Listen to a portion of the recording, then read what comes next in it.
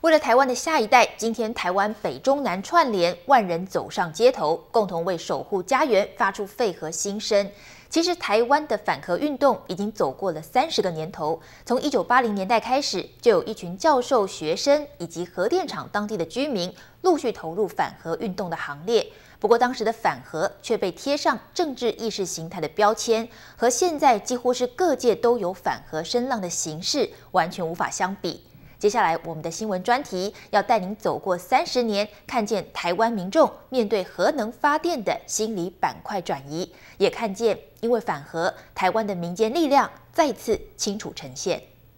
那时的你，或许也跟成千上万的人一样，走在游行的队伍中吧。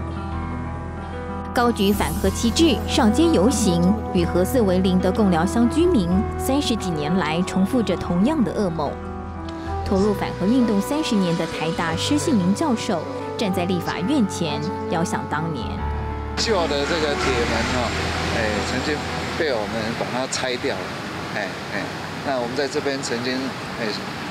睡过很多次，哎哎，很多老师们哈都都有这样的在这边夜宿的经验。哎，一九八零年政府宣布核四厂定止供疗，八零年代。台湾环保意识抬头，环保运动风起云涌，反核是当时历时最久、声势浩大的社会运动。一九八七年，一群教授们自愿下乡，告诉核电厂附近的居民们，核电有多危险。但在早期在做这些宣扬的过程里面，哎，也会受到这个情治人员的监控哈，哎，所以这个哎呀，因为比较早期还是在戒戒戒戒严那个时候。即便政治意识形态压顶，解严后教授们组成环境保护联盟，共寮当地居民也成立自救会，号召万人街头游行。一九九一年十月的环评抗争却爆发警民冲突，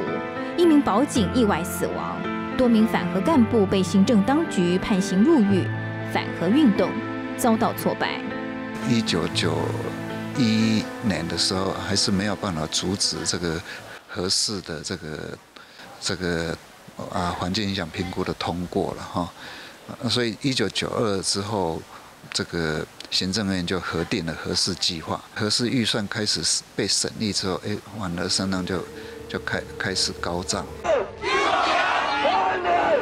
反核声浪还是越挫越勇，抗争一波接着一波，游行、地方自办公投、罢免立委等行动仍旧抵挡不了。一九九九年，核四正式动工。零零年第一次政党轮替，燃起反核民众希望，但民进党核四停工的承诺只维持了三个多月，在朝野倾轧下不敌各方压力，百日后宣布复工，反核运动深受打击。二零零五年拍摄六年的《共聊你好吗》纪录片问世，绿色公民行动联盟开始以放映影片、乐会等软性诉求，凝聚新时代反核声浪。低迷的士气啊，是一直延续到这个啊福岛核灾之后，哎，大大家啊。才体体会到说哦，原来这些反核团体以前所讲的，哎，都是没有错啊！啊真的核灾就发生在我们隔壁的国家了。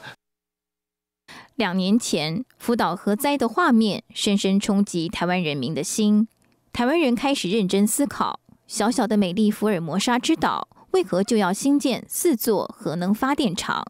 开始思考台湾的能源结构，甚至产业生态，为什么需要那么多电？台湾民间社会第一次没有了政治立场对垒，不问蓝绿，从艺文界到娱乐圈，各路英雄好汉纷纷现身反核。